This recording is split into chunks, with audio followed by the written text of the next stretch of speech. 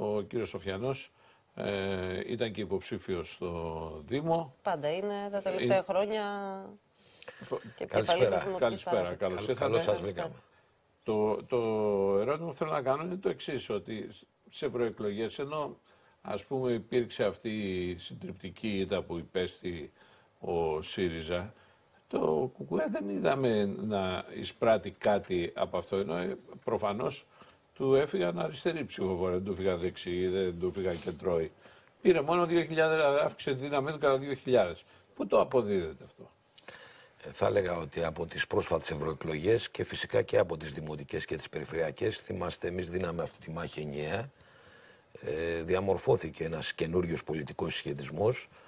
Ο ΣΥΡΙΖΑ ξέπλυνε τη Νέα Δημοκρατία, την έφερε πρώτον πυλών και φυσικά όθησε σε μια γενικότερη συντηρητική στροφή θα, έλεγα, θα λέγαμε, εκτιμάμε τον κόσμο, με μια λογική που λέει τους είδαμε και αυτούς, δεν αλλάζουν τα πράγματα, μία από τα ίδια, Και από τα ίδια. Μείωση απαιτήσεων, μείωση προσδοκιών, χτύπημα μιας λογικής που ήταν έντονη το προηγούμενο διάστημα ότι μπορούμε να τα αλλάξουμε τα πράγματα, μπορούμε να συγκρουστούμε μαζί τους. Υπάρχει λοιπόν μια οπισθοχώρηση. Σε αυτό το σκηνικό το Κομμουνιστικό Κόμμα Ελλάδας είναι μια σταθερή πολιτική δύναμη. Πέντε κόμματα που κυβέρνησαν και με τους ΜΕΝ και με τους ΔΕ που ψήφισαν συμφωνίες, πρέσπες, μνημόνια αποσύρονται, καταργούνται, Εξαφανίζονται. εξαφανίζονται. Κάποια καινούργια αναχώματα δημιουργούνται όπως είναι ο κύριος Βαρουφάκης και ο κύριος Βελόπουλος. Σε αυτές τις συνθήκες λοιπόν εμείς λέμε δεν φτάνει αυτή η σταθερότητα. Χρειάζεται σε αυτή την εκλογική αναμέτρηση το Κομμουνιστικό Κόμμα Ελλάδας να ενισχυθεί ιδιαίτερα από ένα σημαντικό κομμάτι κόσμου που μας εμπιστεύθηκε και στις τρεις κάλπες, στους Δήμους, στις περιφέρειες και στις ευρωεκλογές και ιδιαίτερα από ένα κόσμο αριστερό που αντιλαμβάνεται ότι το διακύβημα της Κυριακής πλέον είναι ποιος θα είναι αντιπολίτευση, ποιος θα είναι αντίπαλος στην κυβέρνηση της Νέας Δημοκρατίας. Αυτό είναι το ερώτημα, αυτό είναι το διακύβευμα. Ναι. Δεν είναι η απόσταση, να το πω έτσι, η ψαλίδα θα είναι 10 ή 8. Και φυσικά αντίπαλος σε αυτή την κυβέρνηση δεν μπορεί να είναι ο ΣΥΡΙΖΑ, ο οποίος ψήφισε μαζί της το μνημόνιο, ψήφισε Σωστό, τις βέβαια. μεταμνημονιακές δεσμεύσεις, τα συμφωνηθέντα. Γνωρίζετε ότι τη Δευτέρα 8 του Ιουλίου ε, Είναι το Eurogroup. Eurogroup συνεδριάζει για τα συμφωνηθέντα. Ακριβώς. Είχε- για τα συμφωνηθέντα. Και το Σεπτέμβρη Να έρχεται. προειδοποιήσει αν, Ακριβώς. αν ισχύει ότι είναι Άρα στις λοιπόν, ποιος δεσμεύσεις. θα κάνει αντιπολίτευση; Θα κάνει αντιπολίτευση ο ΣΥΡΙΖΑ, θα κάνει αντιπολίτευση η κοινοβουλευτική ομάδα του ΣΥΡΙΖΑ, η ακροδεξιά ΝΕΛ χωρίς τον Καμένο, η κυρία Παπακώστα, η πρώην Υπουργή του Γιώργου Παπαντρέου. Αυτοί θα κάνουν αντιπολίτευση στη Νέα Δημοκρατία; Ή το Κινάλ το οποίο έχει ανακοινώσει ότι αν δεν υπάρχει αυτοδυναμία θα δώσει ψήφο ανοχής. Φυσικά αυτή η θέση δεν τους εκφράζει όλους, είναι έξι αφήξεις, αλλά πιστεύω ότι ο κόσμος θέλει καθαρές κουβέντες. Το τι θα κάνει κάθε πολιτική δύναμη. Το ΚΚΕ λοιπόν λέει καθαρά, εμείς είμαστε ο πραγματικός αντίπαλος στη Νέα Δημοκρατία, είμαστε το μόνο κόμμα απέναντι σε τέσσερα μνημονιακά και δύο φασιστικά, άρα η επιλογή για ένα κόσμο αριστερό, δημοκράτη, προοδευτικό είναι ΚΚΕ.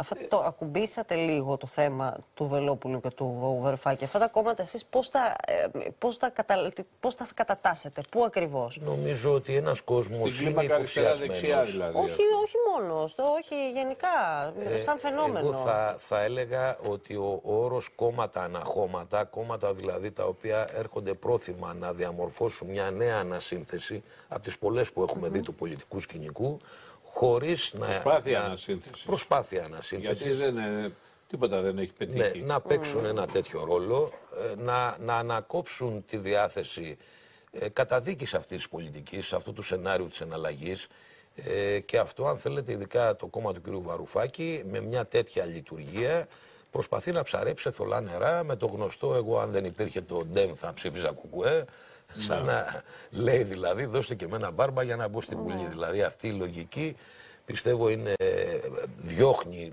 ένα κόσμο, πρέπει να προβληματιστεί ένας κόσμος. Εξάλλου ο κύριος Βαρουφάκης και το μνημόνιο ψήφισε και το μνημόνιο Σαμαρά Βενιζέλου θεωρούσε 70% δίκαιο, σωστό Δίκαιο, ναι, το έλεγε. και διαπραγματεύσιμο το υπόλοιπο 30%. Και 100 δις μας κόστησε. Εντάξει, ο λογαριασμός πληρώθηκε και από τους προηγούμενους και από τους σημερινούς. Διορθώστε με αν κάνω λάθος, αλλά νομίζω ότι στα ψηφοδέλτια σας αυτή τη φορά έχετε για τα δεδομένα σας κάνει μερικά ανοίγματα. Δηλαδή έχουν μπει και κάποιοι καινούργιοι άνθρωποι. Είναι, είναι και στα πρόσφατα ψηφοδέλτια και των το- τριών εκλογών και, και σε σε αυτό αυτά. είναι πιο ορατή μια συμπόρευση αγωνιστική με κόσμο, στελέχη που προέρχονται από το ΣΥΡΙΖΑ, τη ΛΑΕ, τον Εξοκοινοβουλευτική Πώς το Αριστερά, το αποφασίσατε ΠΑΣΟΚ. Ε, κοιτάξτε, δεν το αποφασίσαμε εμείς. Οι συνθήκες, η συγκυρία διαμορφώνει τη δυνατότητα να συμπορευτούν δυνάμεις μαζί με το ΚΚΕ σε μια γραμμή σύγκρουσης με μια πολιτική που θεωρείται μονόδρομος, χωρίς αυτό να σημαίνει προγραμματική συμφωνία ή, ή είναι προαπαιτούμενο μια τέτοια προγραμματική συμφωνία.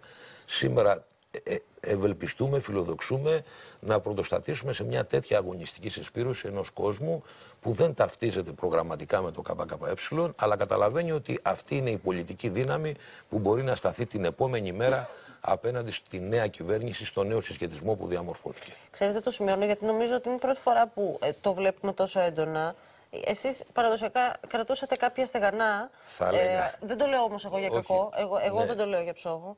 Ε, Θα προσωπικά. έλεγα επειδή η σημερινή μέρα είναι η η μέρα του δημοψηφίσματος. Πριν από- ναι. Θυμάστε; Βέβαια, που ο κόσμος Λοιπόν, πήγε και ψήφισε το, για το το- Debt και μετά Sustainability χορεύανε Analysis. στο Το Σύνταγμα. συζητούσαμε Και με το- τον ε, το Θάνο preliminary report. Το συζητούσαμε με τον Θάνο τον Μικρούτσικο και τον Γιώργο τον Κιμούλη που ήταν δύο εμβληματικές προσωπικότητες σε αυτό το δημοψήφισμα ε, και που ε, ο Γιώργος διάβασε το χαιρετισμό του Θάνου του Μικρούτσικου στη μεγάλη συγκέντρωση του ΚΚΕ την ε, Τετάρτη. Ότι πραγματικά τώρα ένας κόσμος μπορεί να καταλάβει καλύτερα το παιχνίδι που παίχτηκε, την μαζική αυταπάτη στην οποία επένδυσε ο ΣΥΡΙΖΑ για να γίνει μετά το κόμμα της αλαζονίας, της κολοτούμπας, της εναλλαγής και να δίνει τώρα τη σκητάλη στη Νέα Δημοκρατία. Μια τελευταία ερώτηση. Υπάρχει ε, μια πληθώρα δημο- δημοσκοπήσεων που λέει ότι το ΚΚΕ θα είναι τέταρτο κόμμα, αλλά δεν δείχνει να, έχει, ε, να συγκεντρώνει ε, κόσμο και ειδικά από αυτούς τους πολίτες οι οποίοι στις προηγούμενες εκλογές δεν ψήφισαν καθόλου, απήχαν ή ε, είναι πολίτες οι οποίοι είχαν επιλέξει τον ΣΥΡΙΖΑ σε, σε προηγούμενες εκλογικές αναμετρήσεις. Πού το αποδίδεται; Να σας πω, άμεσα φιλοδοξούμε 100.000 ψηφοφόροι που επέλεξαν ΚΚΕ στην περιφέρεια και όχι στις ευρωεκλογές να επιλέξουν κουκουέ τώρα. Είναι ένας κόσμος που έχει κάνει το βήμα, είναι ένας κόσμος που έχει προβληματισμό, που έχει προσεγγίσει το ΚΚΕ. Είναι κρίσιμο με την ψήφο του να ενισχύσει την, α- το αντίπαλο δέος. Αυτό παίζεται.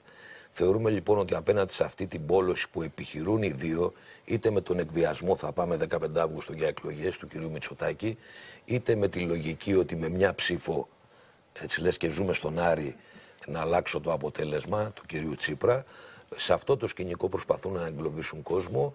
Εμείς θεωρούμε ότι ένας κόσμος που έχει σκέψη μπορεί να δουλέψει την πείρα του, να ψηφίσει ΚΚΕ, να δημιουργήσει τη δύναμή του την επόμενη μέρα. Κύριε Σοφιανέ, σας ευχαριστούμε πάρα πολύ. Και εγώ σας ευχαριστώ. Ο και κύριος ευχαριστώ για Σοφιανός την είναι... φιλοξενία. Να είστε καλά. Ο κύριος Σοφιανός είναι υποψήφιος με το ΚΚΕ στην πρώτη περιφέρεια της Αθήνας. Ε, το ΚΚΕ, όπως ε, πολύ καλά γνωρίζουμε, είναι το κόμμα εκείνο το οποίο ε, σταθερά υποστηρίζει ε, πέντε θέσεις και σε αυτές είναι. Εμείς δεν το έχουμε παρακολουθήσει να κάνει στροφές, ε, παλινοδίες, αβελτηρίες, να καθορίζει την πολιτική του με βάση τη συγκυρία.